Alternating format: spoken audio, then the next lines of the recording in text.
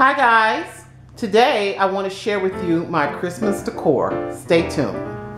The first thing I'd like to share with you is my mantle. Um, I actually pulled all my Santas that I collected over the years and I used them in my Christmas decor. I tried a new garland. This garland uh, mimics ice crystals, but they're actually beads as you can see.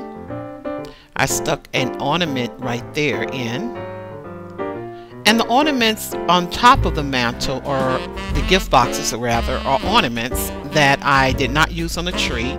I decided to put them as decoration on top of the mantle and throughout the house. You'll see that later. I put pictures of past Christmases in my Dollar Tree picture frames.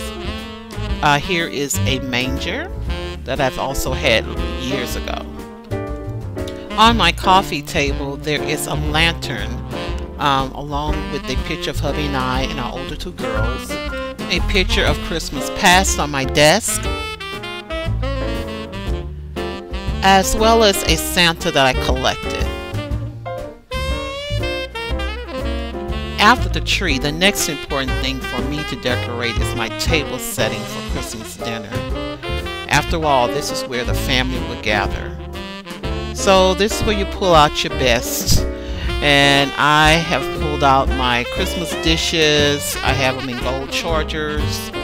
Um, my favorite serving dish, which actually you can put candles underneath or burners to keep the food warm. My favorite tablecloth, which is definitely too small for this table, but after 15 years, I just can't part with it. I love it. And I pulled out every Christmas dish I had with this set because we're going to need it all. We're going to need the bowls for gumbo, the cups for coffee and tea. We're going to need butter for the rolls. And I just stuck with traditional Christmas colors. Um, you see the gifts on the table, which is ornaments that I, you know, told you that I use throughout the house as Christmas decor and we are ready. The only things missing is the silverware, the food, and my family. And the entryway to my kitchen, I just basically have bowl and garland. And for the breakfast table, I have a old Christmas tablecloth along with some Christmas dishes that I blended with dishes I already have. I also uh, have one of my favorite serving dishes on there as well, and a Santa that I did collect too over the years.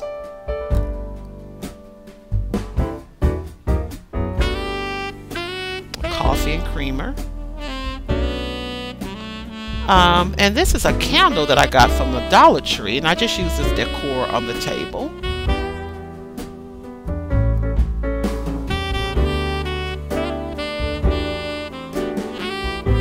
And another candle that's shaped like a cupcake.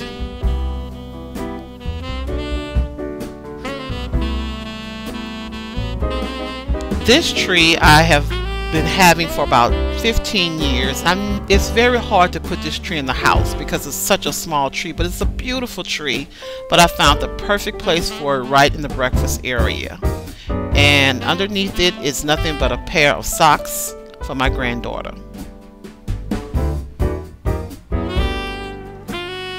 In the kitchen. I have a sign up to let us know how many days till Christmas.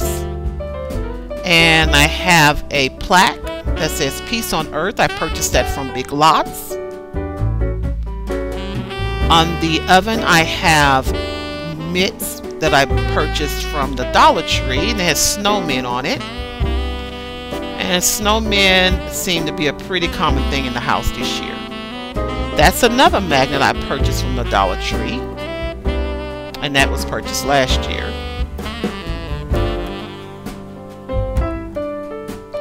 And my Christmas canisters, along with another plaque, have yourself a Merry Christmas. A Merry Little Christmas. Again, I have snowmen. They are candle holders. And a boot in the window, which is a mug.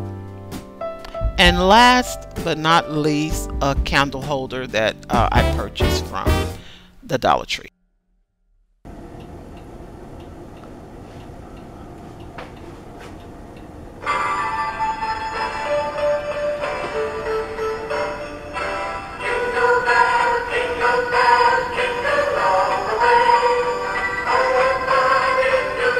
His eyes used to move, guys, but Hubby has to fix them. His eyes actually move.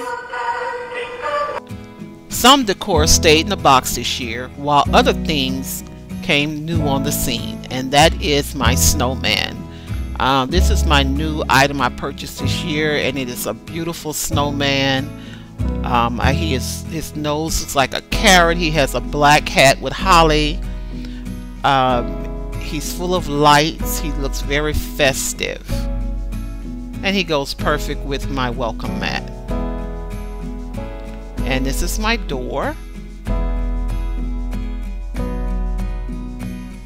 And this is my shower curtain in the bathroom. I have a shower curtain that has Christmas flowers, which are poinsettias on it.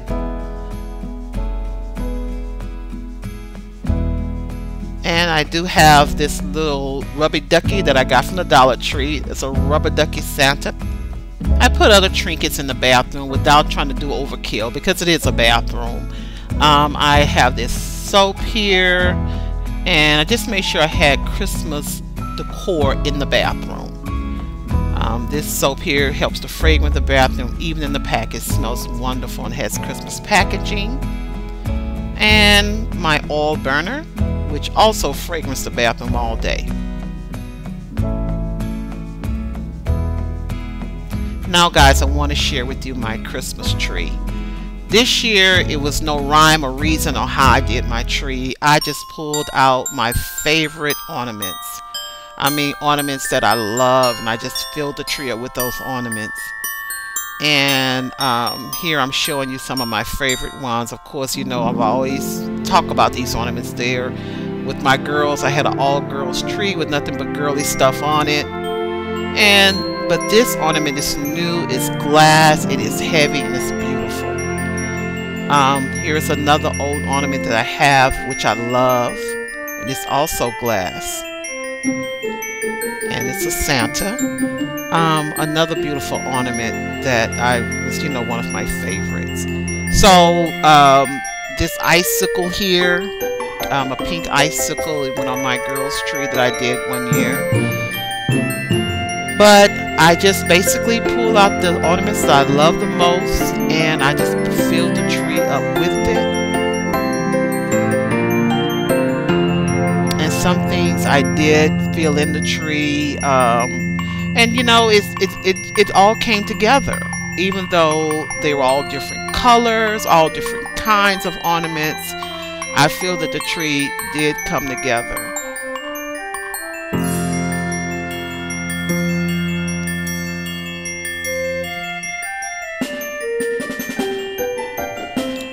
Mr. and Mrs. Claus is what started hubby and I tradition of purchasing a Christmas item every year. So I feel that everything came together, but the most decorative ornament a home is your spirit of love, and peace, and happiness. And I wish you all a Merry Christmas and a Happy New Year. Thank you for watching. See you in the next video.